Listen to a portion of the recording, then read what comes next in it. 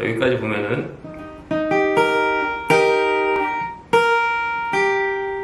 이렇게 1, 2, 3번 손가락으로 잡고 엄손가락을 위에다가 걸쳐줄게요. 뮤트 하려고. 자, 친 다음에 옆으로 슬라이딩.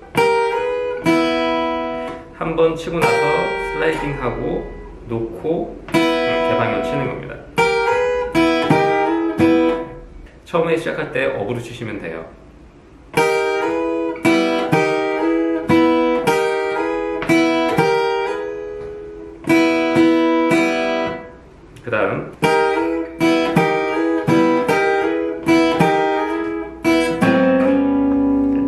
엄지 손가락으로 4번, 어, 네 번째 칸을 누르고 1번 손가락, 3번 손가락 뭐 다른 애들은 다 뮤트. 그래서 업으로 치면서 슬라이딩. 이렇게.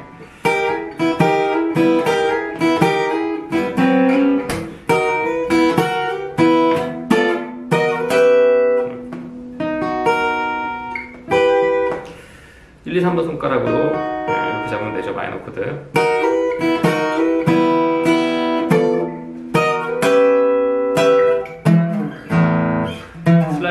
슬라이딩 한 다음에 이렇게 하면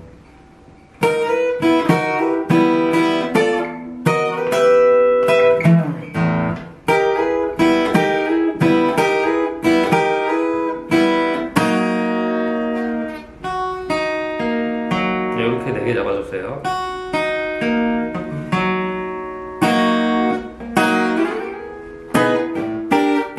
여기가 음, 이거 잡은 상태 그대로 일곱 번째 플랫까지 올라오면 됩니다.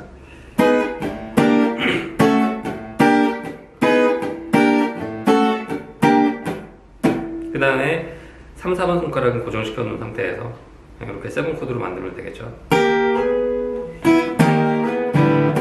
이렇게